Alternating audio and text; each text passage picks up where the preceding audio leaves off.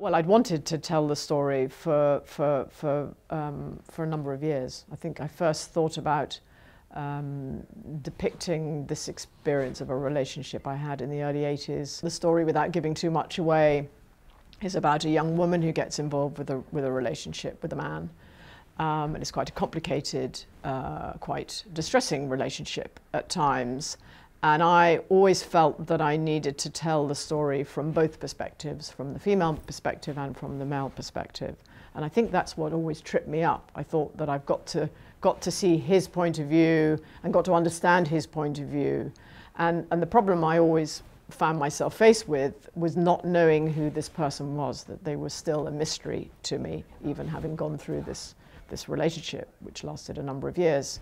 Um, so it was only when I realized I could tell the story without understanding him, but having an understanding of her, who was myself, um, in some shape and form, um, that, that, yeah, that, that, that freed me up, that, that, that idea that I could just see it from her perspective in a way. I mean, I don't know if there's a way of protecting yourself from that. I mean, it's a solitary business in a way. Certainly when I start writing on my own and, and, and start sort of del delving into this territory, it's, um, it's very, um, yeah, it's a very emotionally charged. I would say the most painful part of the process for me is, is um, going through old photographs, letters, diaries, and, and in a way bringing this, this early, this young 20-something young woman to life again. When you ask me that, I think about creativity, and I think what was, what was interesting and quite uh, exciting in a way was, was uh, thinking and remembering projects that I wanted to make in, in my early 20s that I, that I, that I, that I maybe wrote or, or thought about but didn't realize. And that was very exciting to, to have a chance to make that work again. So I was able to look at those ideas and read those ideas sometimes I would snigger a bit or, or be a little bit embarrassed uh, to myself about, about some of the, the things that I wrote down, but mostly it was very well intentioned and quite exciting. I mean, I was, very, I was a very inspired young woman. I, I tend to think other people think that I'm investigating class when actually I'm not that interested in it. And, and, in, and, in, and in this film, uh, well, actually in the last film, Exhibition, I really thought, okay, I'm making a film now, no one's going to talk about class because I'm talking about two artists.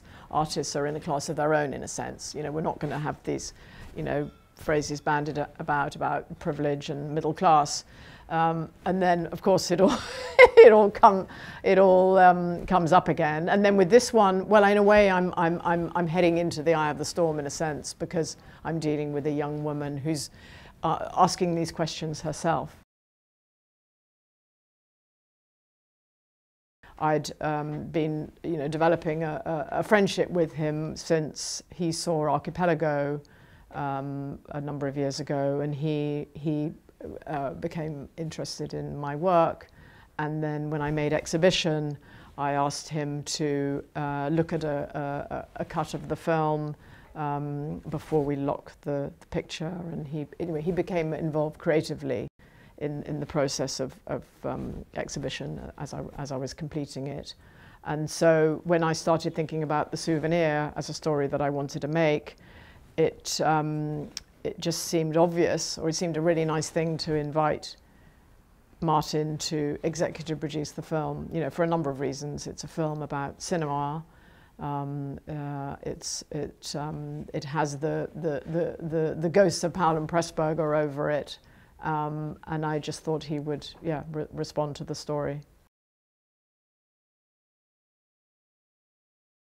So I always wanted to make uh, the souvenir in two parts. It, it, actually, going back to my uh, initial ideas in 1988, in my notebook, um, at that time I wrote about a story of a relationship um, that would form one part of, uh, of, of, two films, and that the second film would be some kind of reaction to it, uh, artistic response to it.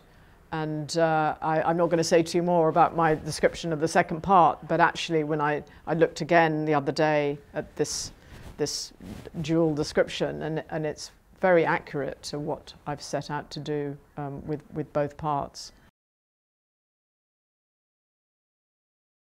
The casting process has been quite similar for all, all my films in a way, where I've cast actors and, and non-actors.